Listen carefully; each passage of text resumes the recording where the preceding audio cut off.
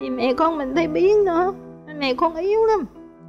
Mọi sinh hoạt của con này nhờ thằng em út hết trơn á. Rồi em út con nó vừa ẩm con đi tắm.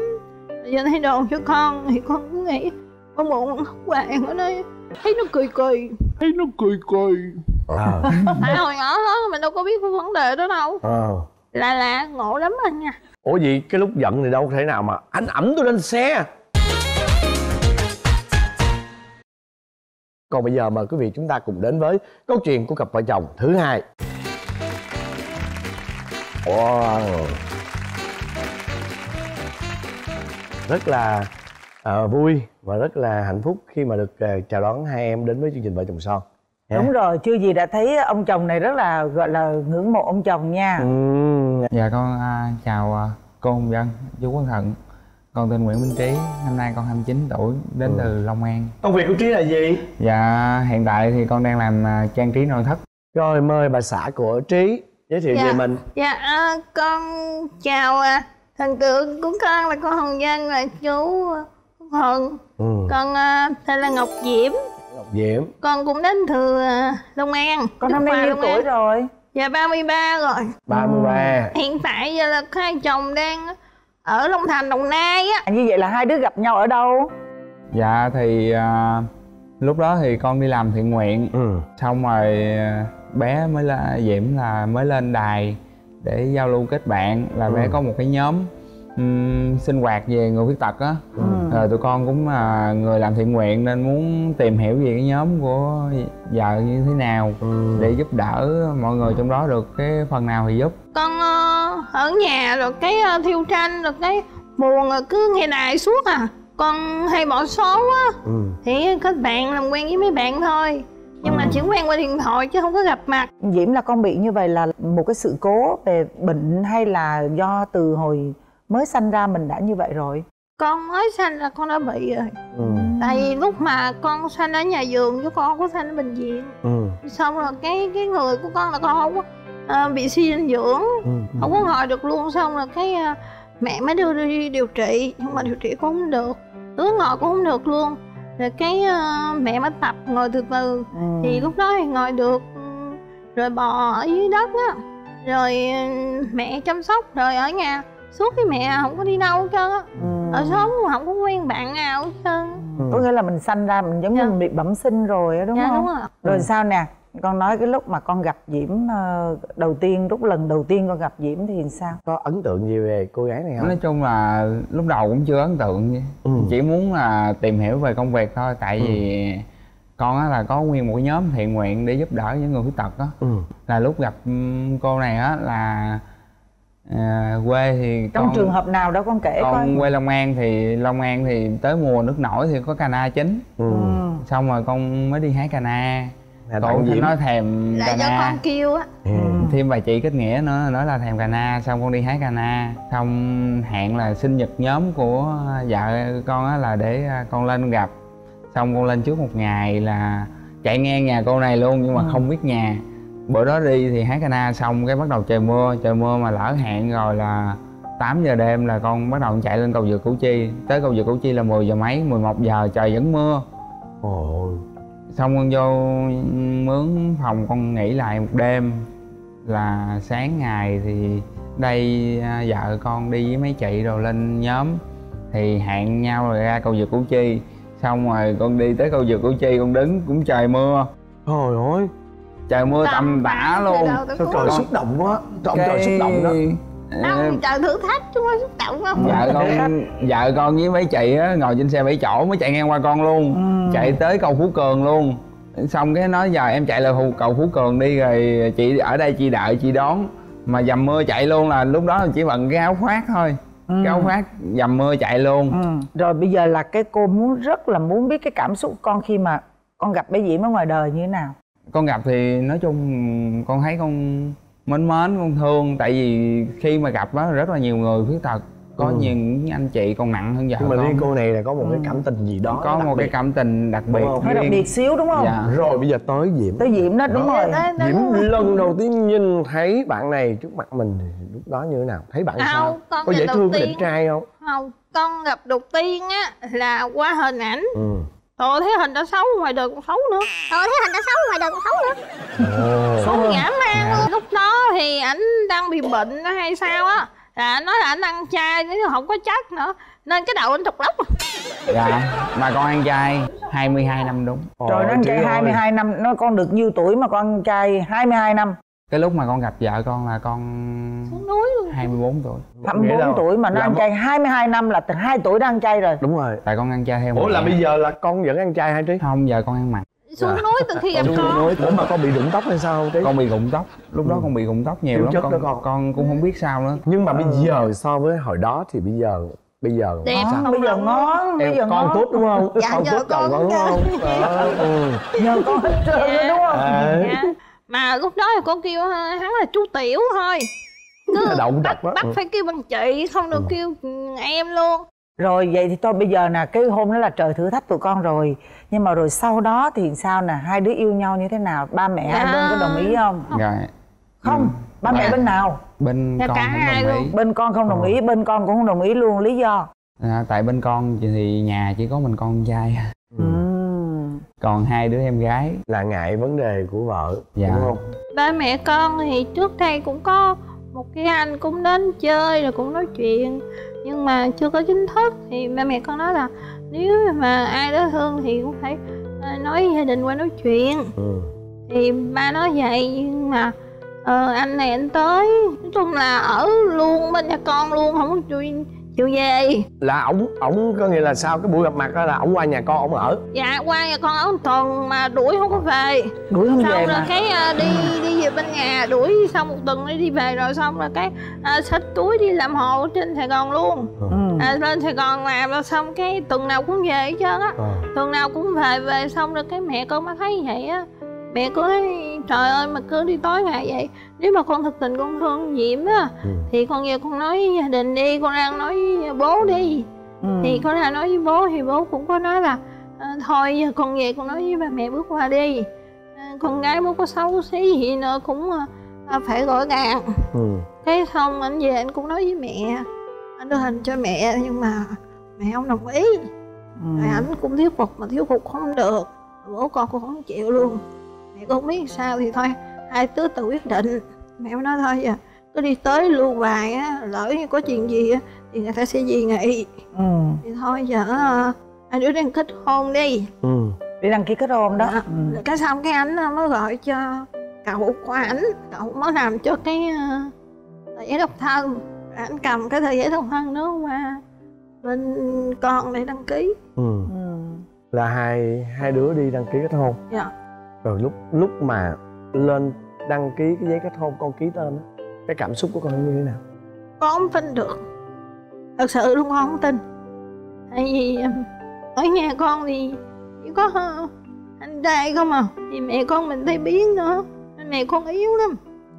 Mọi sinh hoạt của con thì nhờ thằng em út hết trơn á rồi em út con nó vừa ẩm con đi tắm rồi giờ thay đồ cho con thì con cứ nghĩ con buồn khóc hoài ở đây giờ nếu mà có ai đó thương chấp nhận mình á, thì có khổ khả năng mình cũng không có sợ.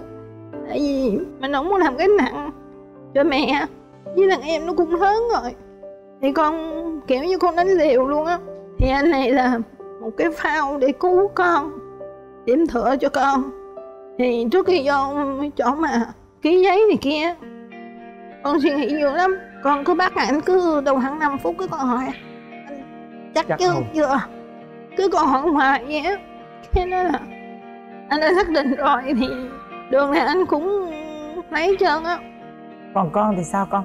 Cái con con tức là vì một lý do gì mà con bất chấp chuyện gia đình không cho con ngăn cản con rồi gia đình bên diễm mà con vẫn đến với diễm? Nói chung là tại lúc đó con thương diễm mà nhiều quá. Rồi con thương con người của diễm hay là dạ, thương hoàn cảnh thương của diễm? ở một cái tánh tình ừ tức là trong những lần mà nói chuyện với nhau và dạ. tìm hiểu nhau đó. tại vì cậu nó bị khuyết tật gì nhưng mà chị cậu còn đi giúp đỡ những người khác ừ. không chỉ là con bình thường vậy ừ. rồi Trời sau khi ơi. tụi con đăng ký kết hôn thì là gia đình hai bên có được tụi con thuyết phục không dạ là có đám cưới không dạ, dạ. cũng không tới bây giờ luôn hả hay sao à, tới bây giờ thì mẹ con chấp nhận rồi à. tại vì lý do là ngoại con á là chấp nhận con nhớ hoài cái câu nói của bà ngoại chồng à nếu mà mẹ con đồng ý là có chết nữa mẹ ngoại cô không nhìn mặt mẹ con đâu. Giờ mẹ già rồi. Giờ có sao ngoại chịu vậy? Ủa cho tới bây giờ tụi con vẫn chưa có đám cưới. Dạ có rồi. Có một cái có đám rồi. cưới mà dạ. là có đám, đám cưới, cưới tập thể vui năm vui hai mười chín. Dạ vui lắm. Con thể. tham gia một cái đám cưới tập thể. Cái đây cũng là nghĩa là con tham gia cái đám cưới đó là ngày 10 2 tháng 8 năm 2019 Là ở Long An hay là dạ, ở, ở thành phố Hồ Chí Minh. Dạ, dạ. Nhóm con được khoảng tầm như bảy tấm cặp Trời ơi là nhiều đó nghe. Dạ ừ. Được thải thở hết tất cả. Rồi bây giờ ngày đó vui quá rồi. Buổi tối có vui không? Dạ không Dạ không. Ủa sao vậy? tối là cái, cái, cái đêm mà ta chờ đợi nhất đúng không trí? Là ý em hỏi đêm gì? Đêm tân hôn á chị. À, về mệt phải... quá làm không nổi chứ. quá chú ơi tại vì bữa đó là đi nguyên cả ngày nhưng mà là tụi con vẫn ở sài gòn hay là dạ, cưới xong về long an? Không cưới xong tụi con về long thành là là tối là mạnh an để ngủ.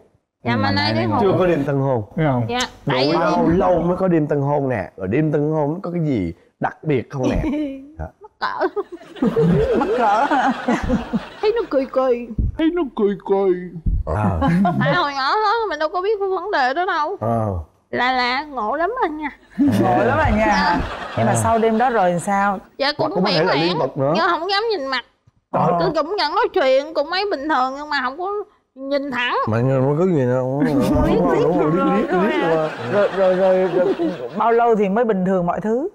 Dạ khoảng năm ngày à dạ khoảng năm ngày à. Để dạ. con mau quên lâu quá luôn á. Lâu quá. Là lúc đó là 2019 dạ. là bây giờ là tụi con là đã được uh, à, 3 năm. Bao giờ quay đến đến cái phần uh, phần hấp dẫn nhất chắc dạ. con cũng chờ đợi đúng không? Dịch mặt. Đó thôi để diễm nói nè.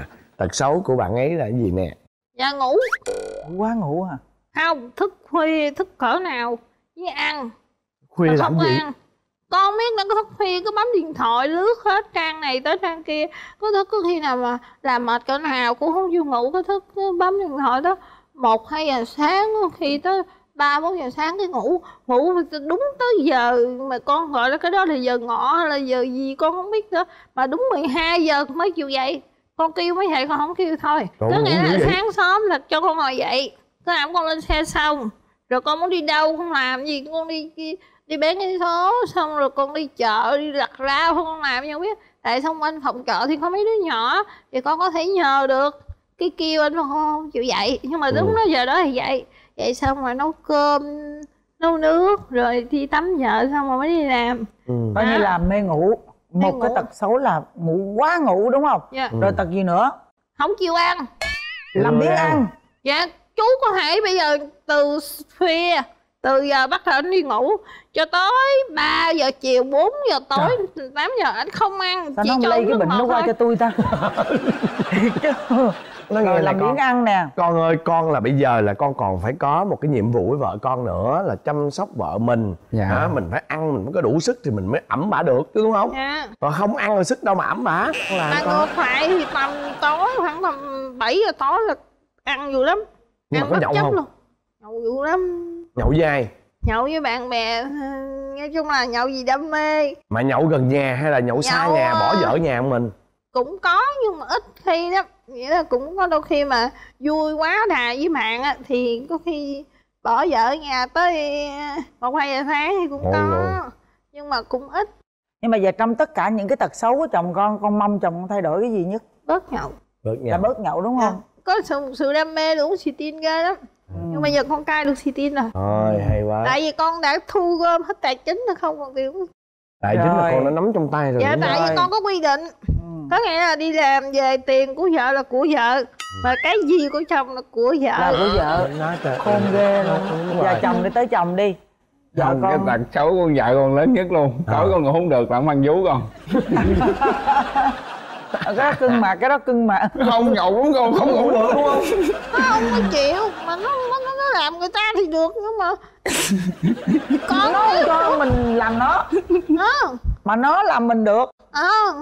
gì mà bất công bất, vậy? đó ừ. con bất công chỗ đó mà con phải làm cho mình nhưng được. mà còn tật xấu gì nữa không không? chỉ gì đó à cái tật nó dễ thương mà. Hồi nhột lắm. Nhưng mà nhưng mà tính diễm á có có dễ xúc động không? Hay khóc có dễ tự ái không hay giận. Hay giận. À, mỗi lần giận nghe. là như thế nào? Giận xong cái là khóc cái là bỏ đi ra ngoài đường. Chừng nào hết về. Leo lên xe hả sao? Không xe thì con ẩm lên xe mới được. Ủa gì cái lúc giận thì đâu thể nào mà anh ẩm tôi lên xe. Tôi không, đi ra con, được con con lựa lúc giận có nghĩa là con lên xe con mới giận. Còn dưới giường thì con con khóc xong rồi con ngồi. Trời chứ sao con ta phải tính chứ. trước khi giận là anh ẩm người ta trước khi mà kiếm chuyện á trước khi trước khi kiếm chuyện. Dạ. à, trước khi kiếm chuyện anh ẩm tôi lên xe đi. Dạ. rồi ngồi xe rồi mới kiếm chuyện dạ, đúng rồi con ngồi xe con chuẩn bị tư thế à con dùng bóp rồi kia đó con thu gom tài sản xong rồi con mới nhận con dạ. đi. Cất hết tài sản trong túi xong rồi bắt đầu mới gây. Rồi sao nó tính ghê trời? Thì ta phải tính chứ. À. trời ơi đúng không? Trong cái khó dạ, không có tiền đâu là hiểu sữa. Còn mày trong thấy lắm rồi. Đừng ngẫm lên xe. Đó nó giận lại. Nè tại vì ở phòng đó đó đồng minh của vợ con đông lắm. Ủa gì hả? Chống không lại. Bây giờ con có có mong vợ con thay ừ. đổi gì không nói chung là đừng mang vú để con ngủ là được rồi. Trời ơi nó, nó, mong, mà, đúng nó mong đừng mang vú nó kìa. Đêm này ha mang dễ gì không thay đổi đâu. Đây là một câu chuyện có thật thưa quý vị chứ đây là một câu chuyện cổ tích.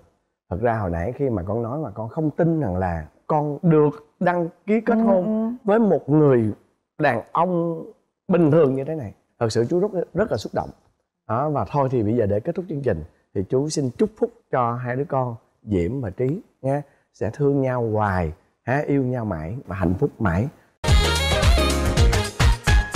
ở người Việt Nam ở trong nước cũng như ở nước ngoài sẽ có cái tinh thần yêu nước và sẽ chung tay để bảo vệ cái chủ quyền biển đảo của Việt Nam. À. Chị chị anh kia chưa có vợ à?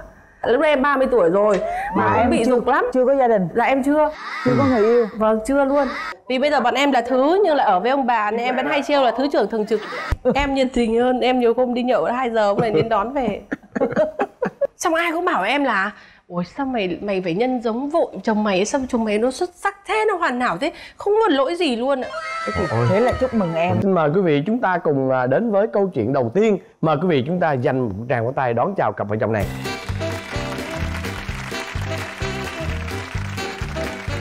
Xin chào xin chào. Ồ. Oh. thế em à, cầm cái em cầm trên cái tay cờ. ừ dạ uh, hôm nay uh, nhân cái cơ hội gặp mà hai mc ở đây thì Uh, lời đầu tiên thì em xin uh, thay mặt cho cái cộng đồng nhỏ người Việt Nam ở nước ngoài ừ. xin cảm ơn các MC vì, vì uh, cảm ơn chị Hồng Vân, cảm ơn anh Quốc Thuận những cái chương trình uh, truyền hình rồi uh, những cái uh, tiểu phẩm của anh chị đã góp phần làm cho cái cuộc sống của bên em trong những cái ngày tháng mà lao động vất vả thì có có thêm một cái món ăn tinh thần để mà uh, cuộc sống nó bớt đi những cái nỗi nhớ quê hương. Uh, em thì uh, có một thời gian dài vậy uh, Ờ, sống và làm việc tại Angola à, xa quá hả Angola ừ.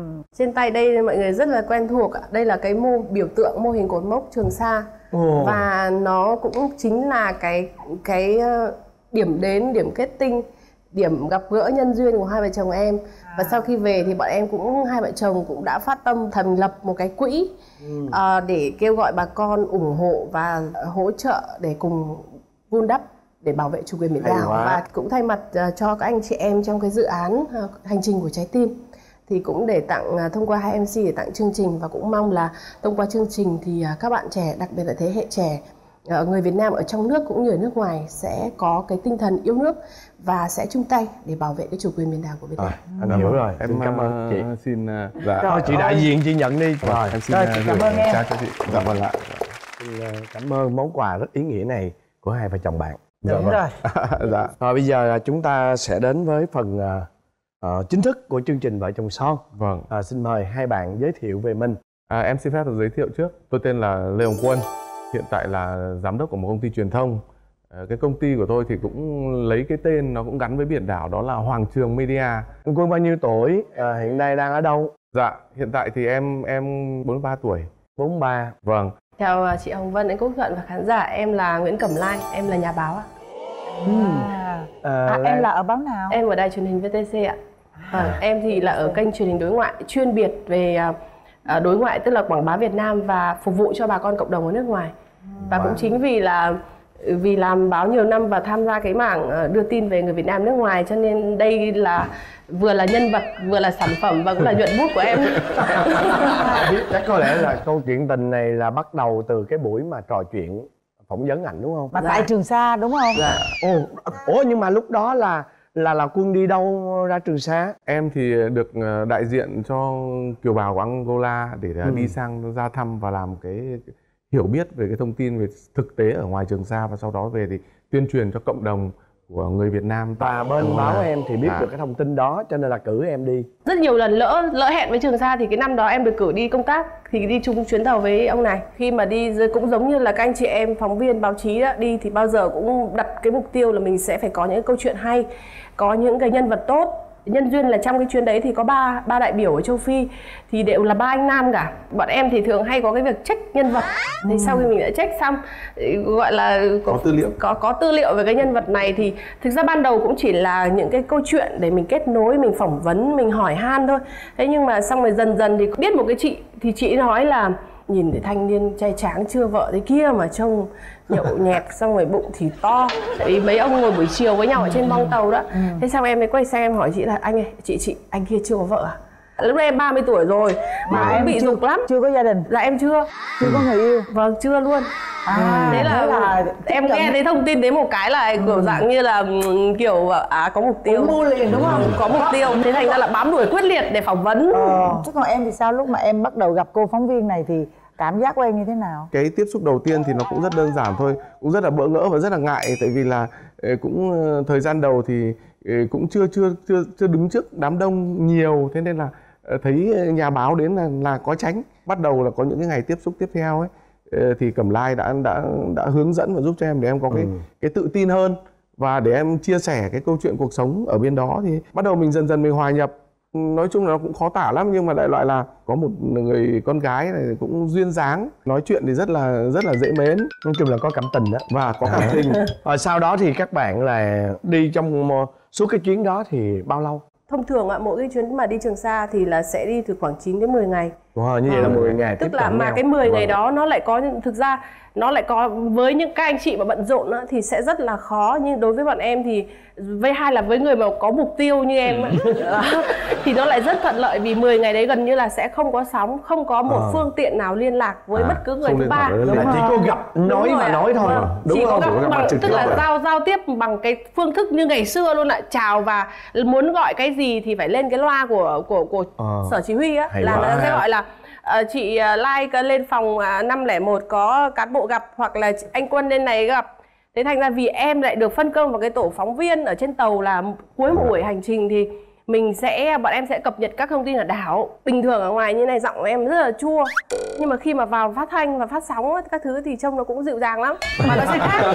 Thế xong khi mà em bước ra khỏi cái phòng thu ấy thì anh các anh ấy anh ấy bảo là này em anh hỏi tí là lúc nãy em vừa phát sóng ở trên đấy hả? Vâng em. Không tin nữa không tin không tin. Nữa thế xong rồi ông này ông nhịn lại một lúc ý là kiểu là rất là hâm mộ cái người ở trên sóng nhưng mà nhìn thực tế thì kiểu hơi hơi hơi sốc nhiệt. Ấy. sai sai sao đó? Có không em ừ. sao lại vợ em lại nó sốc nhiệt? Nhìn vợ em rất là duyên dáng luôn. Đúng ạ cái, cái, đúng không? mà thì bảo vợ ừ. em thì có thể là lúc đấy mình không không không có tỏ bày cái cảm xúc của mình là mình ai đi nói duyên dáng chưa chi đã khen mình cũng bình ừ. thường thôi. Nhiều khi nó nó nó chỉ là một cái cảm giác dễ mến rồi thân thuộc rồi gần gũi hơn. Em thì có cái cái thời gian dài ê, cuộc sống ở ở nước ngoài ê, nhiều khi sống độc lập một mình. Em có bạn gái bên đó. À, trước khi mà em có mở lòng mình với một cái cảm xúc mới thì em có nói ừ. thẳng với Lai. Là nghĩa là anh đã từng có người yêu? Hiện em đã có người yêu tất nhiên là cũng trong một cái thời gian ngắn thì chả ai kể là nó ừ. sắp thế nọ nó sắp ừ. chia tay ừ. nhưng đại loại là còn có một chút vương vấn để mà ừ. xử lý à. chưa chưa có có kết thúc hết ừ. thực ra là khi mà anh quân anh có bảo là anh ờ, có bạn gái rồi tại vì khi về đất liền á thì cũng có rất nhiều các cuộc gọi tới tấp tới tấp thì thấy cũng có ghi là em yêu này kia đó nhưng em bảo là anh có bạn gái thì anh đã lấy đâu thế anh bảo thế có kế hoạch kết hôn không bảo cũng không nói gì cũng bảo chưa anh bảo ừ. thế thì cơ hội chia đều cho tất cả. Cơ hội chia đều cho tất cả. Ờ, em em em rất thẳng thắn. Em thì em rất giữ một cái quan điểm là em bảo nếu anh chưa lấy thì tức là em không phải là người chen vào. Ừ. và em cũng bảo luôn là bây giờ em đưa ra cho anh à, ba phương án. Ừ. một là nếu anh xác định lấy thì em nghĩ là anh nên tiến hành lấy đi bởi vì cái thời điểm đấy anh đã 40 tuổi rồi. Còn nếu anh không lấy thì anh của anh lấy em em cảm ơn và chắc chắn anh sẽ không bao giờ thất vọng. Anh không nên đi tìm một phương án khác. Vì em cũng 30 tuổi chặng đường của em vẫn còn dài. Làm nghề của em còn rất nhiều những cơ hội gặp những người có thể tốt hơn anh. Ừ. mặc dù thời điểm đó em không hề biết nghĩ là việt kiều đó nhưng không hề biết là gia cảnh như thế nào gia đình như thế nào tiền có không à, ở biệt thự hay là ở nhà chung cư. Tức là không có một cái gì thông tin nhá. Nhưng em đều em nói luôn ngay khi về đất liền ạ nếu mà đã xác định là lấy chị kia thì thôi về tổ chức đám cưới bao giờ ấy thì mời coi như là mình gặp nhau thế vui vui còn nếu không thì thôi quay lấy em cảm ơn đừng bao đừng đừng em khuyên thật anh là đừng đi tìm hiểu một cô nào nữa lại mất 5 năm mất 3 năm nó bao nhiêu lâu thì em quyết định là em sẽ chọn bé này khoảng độ là 9 tháng Ừ. Ồ vậy cũng, lâu à. Tại vì cũng lâu rồi nha. Thì cái công việc của em lúc đấy là em chưa có về Việt Nam hẳn. Ừ. À đúng rồi. Cái là em lại về, xong cái chuyến lên bờ đi. xong là thời gian là đi qua bển. Xong em lại đi tại vì công việc của em vẫn còn ở bên đó. Em đi đến một cái quyết định là đây là cái người sẽ đồng hành cùng mình trong cái cuộc sống à. của những phần đời còn lại của mình ừ. và mình sẽ uh, tự cảm thấy hạnh phúc và mình sẽ làm thế nào để cho cô ấy hạnh phúc. Như sau 9 tháng là hai bạn chính thức là yêu nhau đấy, đúng không? À. Gia đình hai bên có đồng thuận để cho hai bạn quen nhau không? Gia đình bên em thì uh, em không có dẫn đồng chí này về nhà nhiều. Không dẫn về một ngày nào. Không dẫn về trước luôn. khi quyết định lấy nhau là mới dẫn về và em không biết nhà ông to ôi to vật vã to lắm thì luôn. nhà ở đâu em, em? mà biết thế em một tấn công nhà sống luôn nhà, nhà ở cầu giấy hà nội ở cầu giấy hà nội à. bố mẹ em thì cũng nói tất nhiên các cụ sẽ nói là con đã đi. Vợ em nó nói nó trúng số. Em nghĩ là đúng là cứ đam mê á. Ừ, rồi rồi vận may nó sẽ đến đúng thật ừ. sự luôn ạ. À. vì em 87 đồng chí này 78 ừ.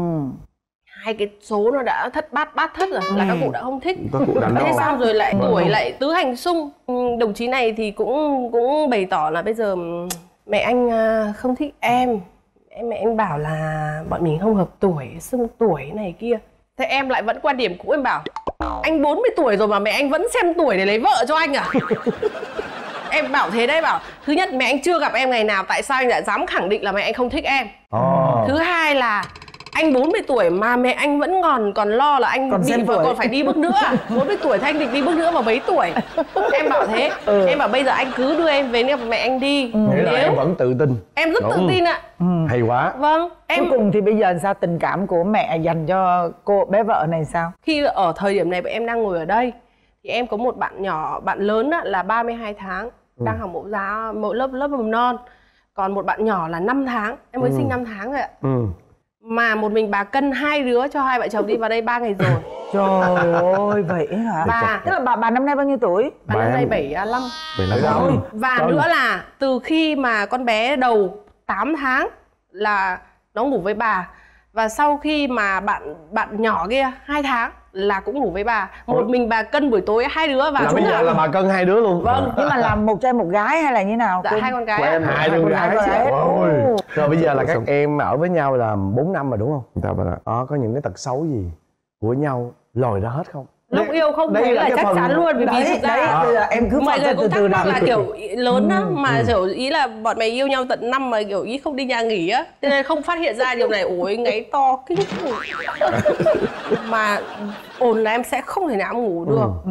nhưng mà cũng may là mấy đứa nhỏ nó ngủ với bà đúng không vâng, vâng. chứ nó ngủ với bố chắc cũng cũng ngáy cũng may là em mặc dù kiên định nhưng nếu mà mà có nhớ mà kiểu lúc đang yêu mà đi nhà nghỉ mà phát hiện ra ngáy thì chắc là à, em cũng say say goodbye may cho ông này ạ thôi nhưng mà cái ngáy đó không phải tật xấu đâu. Vâng xấu lắm. Cái đó là cái đó là cái nỗi khổ của người đàn ông mình đúng, rồi. đúng không đúng rồi. Dạ, dạ. rồi có tật gì nữa không? Không thực ra là vì anh này à, anh ấy rất là kiểu mô phạm với người rất là đạo mạo các thứ đó nên là có mỗi cái tật đấy thôi. Có gia trưởng không? Không gia trưởng ạ. Vì bây giờ bọn em là thứ nhưng là ở với ông bà nên em vẫn hay trêu là thứ trưởng thường trực. Có những cái mối quan hệ xã hội bên ngoài rất là nhiều mà đôi khi bỏ quên uh, gia đình hay không? Lại không có luôn mà cái đấy là em em nhiệt tình hơn em nhiều hôm đi nhậu hai giờ hôm này đến đón về. Xong ai cũng bảo em là ôi sao mày mày phải nhân giống vội chồng mày sao chồng mày nó xuất sắc thế nó hoàn hảo thế? Không có lỗi gì luôn ạ. Thế là chúc mừng em đó à, nhưng mà là chăm con không? Có biết chăm con không? Có chơi với con hay không? Em chỉ cần nói chi tiết này thôi nhá. Rồi lại khen. Em sinh hai đứa mà em còn không biết cái có cái mới sinh á là có cái cái cái miếng dán bỉm á em cũng ừ. không biết đặt nó vào chiều nào mà ông này ông ra ông làm luôn là ông bố quốc dân ông chồng quốc dân luôn bây giờ à, là nhường cho em đó để em nói về cô bé hoang dã này đi vợ em thì cái công tác báo chí thì thường là làm lệch giờ ừ. và đi về khuya về tối rồi có những cái các cái dự án dài ngày thì nói chung là mệt mỏi thì sau này các cái các cái bạn bè thì sẽ tổ chức những cái cuộc ừ. hội ngộ với nhau thì tất nhiên là cũng có cái kéo em đi ừ. thì vợ em rất muốn em hiện diện cùng với các bạn bè ừ. à cũng có lần thì cũng uống rất tới mà ừ. sau đó em đưa về. Vợ em thì có một cái là vợ em là cái em chưa hài lòng á. ưu tú trong nghệ thuật sắp đặt ừ. tại gia đình. À chắc là nó ngược lại tức là hơi bừa bộn đúng không? À không em em cũng không em không định nghĩa giống anh mà. Nhiều khi nó phải định nghĩa không ngăn nắp đúng không? Dạ vợ em thì nhiều khi đấy cũng là uh, có cái thói quen thời gian dài ở xa bố mẹ gia đình và uh, mọi thứ nó nó nó để nó theo một thứ nghệ thuật mà mình mình không cảm thấy nó nó đúng vị trí à. trường phái trừu tượng à vâng trường phái trừu tượng đấy là đấy chị thấy ông à, ông này ông mô phạm mức độ à, mà kẻ xấu vợ ông vẫn phải nói lòng vòng suốt ngày ông ấy ờ, bảo em là. Dạ. sau quần áo cứ để lên cái bàn làm việc của anh thế sao quần áo cứ vứt ra đây thế? Con cái nó lớn rồi thì uh, nó học theo con bảo mà. thì anh gọn vào làm Mẹ sao đâu mà có ý kiến. thế là sau này là con gái học theo là à. chết em. Chết em đấy. Em phải làm ba ba gấp ba lần á đúng không? Rồi rồi nấu nướng. Nấu ăn thì sao? Vào bếp khi nàng vào bếp thì sao? Vợ em nấu những món mà nó nó, nó, nó truyền thống thì có thể là rất ngon đấy là theo cái cảm giác của em tại vì lâu lâu của em ấy mới vào tại vì là đấy lâu lâu mới nấu cho một bữa đặc đặc thù công việc thì chỉ cuối tuần thôi ừ. như vậy em có mong muốn vợ em thay đổi điều gì để cho vợ em hoàn thiện hơn nữa không thì thực ra thì chồng cũng mong muốn là uh, cuối ngày về thì ví dụ như gia đình ấm ấm trên cái mâm cơm đấy. của gia đình uh, ngon nóng sốt rồi uh, vợ chuẩn bị những cái thứ mà cho con cái để mà uh, bé được được được trưởng thành một cách ừ. tốt và cũng như là để đến trường mọi thứ chuẩn bị tốt chẳng hạn. Đấy, đơn giản thế thôi. Đấy. không, không gì cả. Cô nghe không cô like. Đấy cô, cô nghe không cô like. Về cô like thì chắc có lẽ là không mong muốn chồng thay đổi điều gì đúng không? Thực ra thì uh, em cũng thấy mình cũng cũng uh, kiểu nhiều khi là mình được vào cái thế là mẹ chồng thì đã làm hết rất yêu thương ừ. chồng thì rất là đảm đang tháo vát ấy. Nhiều khi đương nhiên cũng thấy là mình đang bị uh, trượt một chút. Ý y đúng không? Dạ, hơi ỉ lại ừ. một tí là đại khái là đã có người làm hết rồi nhưng có những lúc nhìn lại là cũng đang cũng thấy và cũng cũng cần phải thay đổi. Thôi bây giờ à, anh có một cái đề nghị như thế này. Dạ. Hôm nay là nhân kỷ niệm các bạn đến với chương trình vợ chồng son. Thì quân có cái điều gì đó bày tỏ với vợ mình hay không? Hay muốn thể hiện điều gì đó với vợ mình hay không? vợ mình một cái gì đó. không? Dạ. một cái gì đó bất ngờ surprise với like tinh tinh cũng được. xíu. rồi em không cần tinh tinh nữa. Em, em xin phép à, hãy rồi, rồi. chị xin phép chương trình. Tổng uh, tặng vợ bó hoa tươi thắm nhân cái kỷ niệm này chúng ta về về với cái nơi mà chúng ta bắt đầu cho tình yêu của chúng ta. Và mong muốn rằng là bờ vai hai bờ vai này sẽ là nơi mà uh, vợ cũng như là các con luôn tin tưởng và cũng như là uh, dựa vào và chúng ta cùng xây dựng hạnh phúc. Đấy vợ đứng lên đi nào. sau.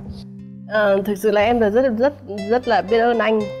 Khi mà đồng ý lấy em mà em vẫn luôn nói đó là anh sẽ không bao giờ hối hận.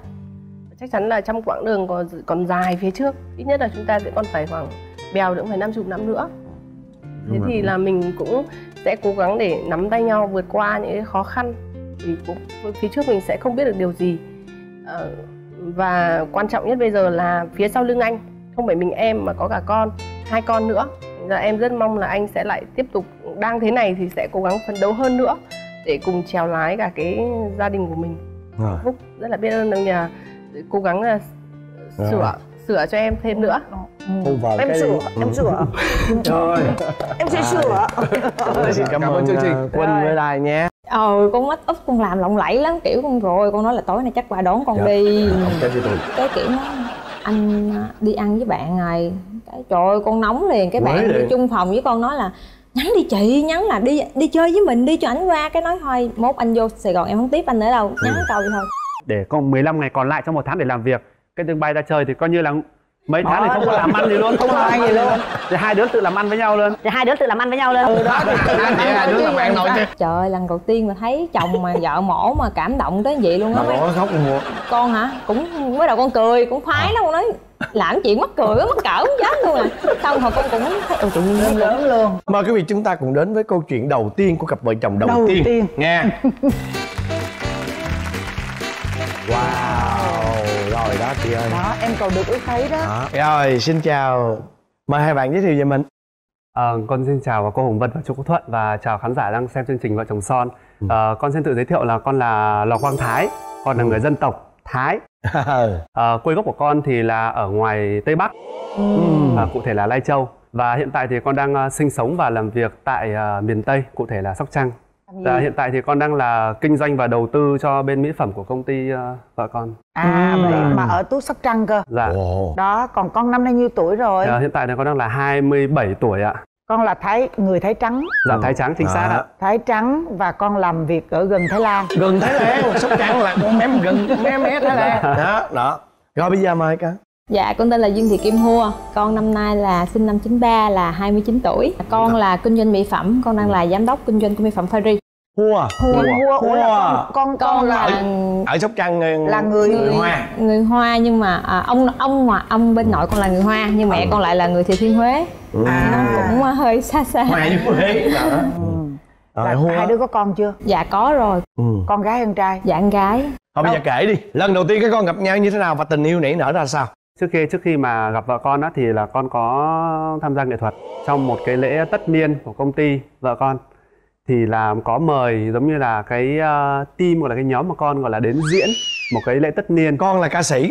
Dạ no người mẫu, mẫu và diễn à. viên. Thì cũng trong cái lễ tất niên đó thì con bị ấn tượng. Đầu tiên đó là trong lúc mà trong cánh gà mà chuẩn bị ra đôi diễn đó ừ. thì là nhìn thấy một cái um, bảng gọi là cái bằng khen đi.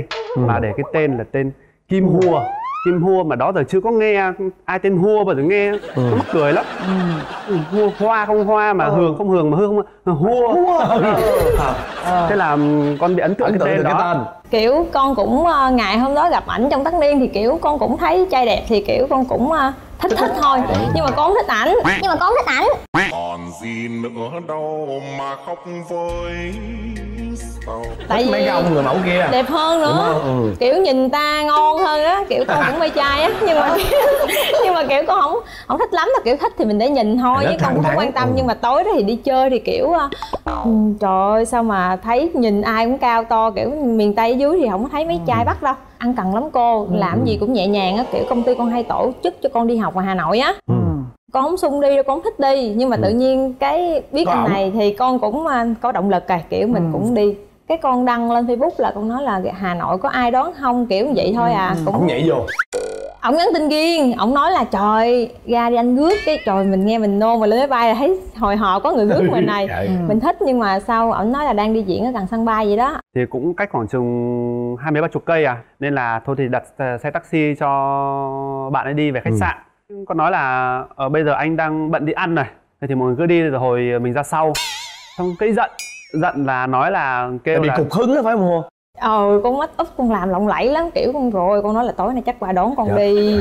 Cái, cái kiểu nó anh đi ăn với bạn rồi cái trời ơi con nóng liền. Cái bạn đi chung phòng với con nói là nhắn đi chị nhắn là đi đi chơi với mình đi cho ảnh qua cái nói thôi mốt anh vô sài gòn em không tiếp anh nữa đâu nhắn ừ. câu vậy thôi cái con đi xuống khách sạn thì con cũng định bốc cháp đi chơi với mấy chị với mấy anh ngoài hà nội nữa xong cái nói là em nhìn qua đi anh đang ở sau lưng em nè wow. bên đèn đỏ bên kia là, là giả bộ đúng không đó không cũng là tính không đi thật nhưng mà cái nhắn tin cái giận thì thôi mình ừ. cũng nghĩ là mình còn sắc có lỗi thật thì thôi uh, lỡ hứa rồi mà lỡ bốc xe về khách sạn thì thôi uh, qua rước ừ. đi gọi là đi ăn chung nguyên nhóm mà chứ cũng ừ. đâu có nghĩ gì ừ. đâu ừ. À. đi ăn đi chơi thì say mà say thì lại phải đi vô ba vô lắp đêm đó đi nhậu tiếp tăng 2, tăng 3 gì cũng không biết rồi. Tăng 4 gì luôn xong rồi, rồi về khách sạn. Đó là bốn người ba đứa con gái. Say say quá say luôn. Mà cái lên dạt ngủ thì cái giường nó cũng to lắm. Ảnh với hai ba anh ba anh trong phòng mà hai anh kia lên dạt có tự nhiên ảnh nằm dưới đất mình nên vậy đó. Ừ. sáng con nói ủa sao ông ta lên đây ngủ anh không lên ừ. thôi mọi người ngủ đi thấy chặt quá mà hai anh kia thì nằm dưới chân thôi à. Ừ. con với bé kia thì nằm gần nhau cái nó hồi danh lên nè. Anh con vỗ cái dạt con nói lên nằm gần với em nè. Con nói lên nằm gần với em nè. Ờ, thời thời tới thời tới rồi. Lên luôn lên luôn. sáng rồi đưa đi chơi đưa đi ăn rồi ờ. mọi thứ đó. Nó cứ diễn ra như vậy rồi cái hai đứa thành ra quen nhau rồi con đứng lên con tuyên bố với nhóm luôn. Ờ. người yêu con. Tự nhiên lúc đó là thích hay gì lắm rồi tháng bay bốn lần á. Bay con bay ra hay anh bay, bay vô? bay ra ổng bay vô cứ làm hoài vậy đó. Bay ra bay vô luôn. Làm ví dụ mình một tuần tầm... là 7 ngày thì 5 ngày thì bay vô thì ở 5 ngày 6 ngày trong sóc trăng rồi con bay ra con hai ba ngày việc. kiểu rồi quay con ra ngoài được khoảng tầm 5 6 ngày thì bạn ấy lại bay ra với con. Nhưng mà hua bay ra ngoài đó là có công việc cũng còn thái là bay vô trong đây là có một ví dụ như khoảng công việc xong rồi. Bây giờ thì khoảng công việc ba lần thôi nhưng mà bay ra chơi là khoảng 7 lần rồi đó. Có là nguyên tháng ở với nhau như đó. vậy là làm lợi cho hãng cho hãng máy bay vé là cứ điện là anh Quang Thái hay đặt vé kiểu gì? À, vô 15 ngày thì ngoài Hà Nội là công công việc bỏ hết luôn. Ờ. cái ra ngoài Hà Nội để công 15 ngày còn lại trong một tháng để làm việc. Cái đường bay ra chơi thì coi như là mấy tháng thì không có làm ăn gì luôn không làm ăn gì luôn. thì hai đứa tự làm ăn với nhau luôn thì hai đứa tự làm ăn với nhau luôn ừ đó. Hai đứa làm ăn nội chứ. Biết sao? Khi hai đứa yêu nhau vậy rồi gia đình có biết không? Ừ. con theo con nghĩ thì ban đầu không chịu liền đâu tại vì ngoài miền bắc thì xa quá về quê chồng con thì lại là ừ. con một trong gia đình nữa à. một người đầu à. sông cuối sông đó. Đó xa ừ. lắm nên là con biết ban đầu chắc cũng không thích lắm đâu. Từ từ kiểu kiểu như hết nổi hay sao á cái nói anh vô ở đây luôn đi anh ơi. Con kêu luôn. Khi mà mình ờ, vô trong đây ấy thì chắc chắn là mình phải xin nghỉ ừ. việc làm ở ngoài à, Hà Nội rồi mình sẽ nghĩ là mình vào đây là mình sẽ có mọi thứ đầy đủ ừ. đầu tiên là về tình cảm là hai đứa gần nhau trước này rồi về có ba mẹ à, vợ ở trong này ừ. nhưng mà khi mà con vào thì mọi thứ nó khác hoàn toàn ừ. khác đầu, như thế nào đầu tiên là về ngôn ngữ cách làm việc của con thì là con khác ngược với ờ, bên nhà vợ con đầu tiên là con hay dậy sớm con đi thể ừ. dục con đi thể thao xong cái con bị một thời gian là con bị gọi là bị tâm lý nó bị không ổn định cho lắm bị stress luôn bị stress đúng đó, tại vì nhà con thứ. mạnh ai nấy ăn không ăn cơm chung ừ. ừ. năm ngày thì có một chương trình lên Sài Gòn làm mình ở nhà không mà ở nhà không ngồi lại rồi sống với với với bạn gái nữa dạ xong cái vô đây mọi thứ nó thay đổi hết con có bị mặc cảm không? Khóc à. luôn á cô. Thiệt, cái đó là trầm cảm luôn Ủa, chứ không có giỡn đâu. Xem lên facebook xem bạn bè mình đi, đi diễn, diễn này đi chơi. Chụp hình này. Ừ. cái tự dưng mình thấy ồ mình vô trong đây là mình vẫn làm nhưng mà bỗng dưng mình bị ít show lại mình ừ. bị ít chương trình gọi lại. Tối ngủ ngủ cái cái Sao lướt, khóc lướt điện thoại hồi là cái hít hít lại cái gì trời? Thấy chuyện gì buồn hả? Tại vì ổng coi mà chương trình gì cảm động ông cũng khóc nữa. Ừ. hay khóc. Vụ gì nói em nghe cay nói là không có gì đâu rồi con thấy nước thấy người ta đi chơi rồi hoặc là đi diễn này nói trời anh vô đây là anh phải anh thương em không? Anh thương thì anh vì em nè. Rồi còn tương lai nữa ví dụ anh diễn thì 5 năm 10 năm nữa thì anh cũng nghĩ à nhưng mà bây giờ em đang cần anh. Tại vì ừ. công việc của con con phải thuê người đủ kiểu con con đi nữa ban đêm ban hôm nữa. Ừ. con phải mướn con bé kia nó chở con đi nọ. Rồi anh đi anh vô nên chở em em với anh cứ đi với nhau vậy nè thì kệ đi. Nữa anh quen từ từ anh ừ. quen cứ an ủi an ủi gì đó. Khóc cũng khóc nói giờ thôi gì nữa khóc đúng không à, cúng đồ đi ngày mai đi về ngoại. Thì cái con lần đó con thấy buồn hoài con cũng làm đại nhưng mà nếu con nghĩ là về về con cũng không có bỏ đâu.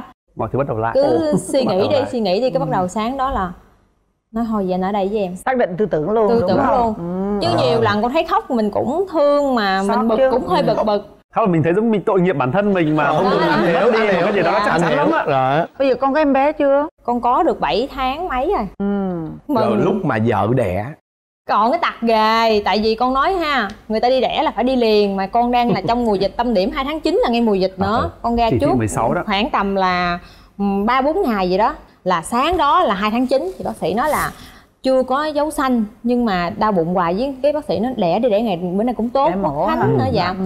đấu tranh với nhau điện cho mẹ làm quá trời nó là ổng muốn là phải sinh thường phải sinh ừ. tự nhiên không muốn đẻ mổ nguy hiểm đủ thứ mà ổng cái gì mà liên quan tới dao kéo là ổng sợ cực kỳ luôn ừ. xong sợ lắm mà con nói giờ nghe em tin em lần đi sáng là khám chiều là đẻ mà bên bệnh viện thông báo nha 4 giờ 20 hay gì đó là à. thai phụ sẽ được lên phòng mổ ừ. người nhà phải chuẩn bị 4 giờ 10 phút kêu cơm ăn. Con không được ăn con đói mà người ta bắt bắt phải đói mà không hồi nào không ăn. ăn dĩa cơm thiệt bự xong anh đi tắm nha. Nói anh ơi 4 giờ 10 thì 4 giờ 15 là còn 5 phút là em đi lên đẻ rồi đó mà con phải đi tắm cái nữa. Đó, con phải chuẩn bị rồi. Con xong hết rồi con chuẩn bị tâm lý đi về mặc đồ đi vô bệnh phòng mổ rồi. Anh tắm cái anh tắm 3 phút là anh xong. Vô tắm bắt nhạc hát. Không biết sao là mừng hay là gung hay sao vô hát gùm ben bên bệnh viện đẩy con đi. Cái nói anh ơi em đi nghe cái ông nói gì cái gì đó con cũng không nghe nó là con không biết ông biết con đi không? Con ra tới phòng mổ rồi. Cái người nhà ủa tại sao đi mổ mà không có người nhà lên? Ừ. cái con nói chồng con đi tắm rồi chưa kịp lên. Chồng con đi tắm rồi chưa kịp lên. Cái bên bệnh viện nói trời ơi vợ đi đẻ vậy này chồng tắm. Thôi cho con vô phòng mổ đi tới giờ thì mổ đi tại vì mình rồi còn người khác ừ. nhiều người ngày hôm đó. Đẩy vô thì là người ta vô rồi phòng mổ là phòng vô trùng và thứ nhất là bệnh viện đó bệnh viện quốc tế nữa. Ừ. ông chạy tới trời ơi, làm đang mình đang tịnh gây mê tị, gây tê tị sống. Thì con bé kia nó vô nói là bác ơi bác ơi bây giờ chồng của chị hua anh thái á bây giờ muốn gặp vợ quá trời ảnh khóc rồi ảnh khóc ở ngoài hồng mổ quá rồi bác ơi bác cho ảnh vô đi. Bác sĩ nói đây là cái trường hợp mà không thể nào chấp nhận được nếu sinh thường thì cho vô sinh mổ là không thể nào. Đúng nhưng rồi. mà bà chị nói là trời ơi tới này anh mất tắm bạn nói chơi vợ đi đẻ mà tắm gì mà mới đầu là bác sĩ quạo. Rồi bác sĩ bỏ cái mà cây kem kéo xuống đi rồi kêu vô đi. Đúng 10 giây bao nhiêu thôi nha.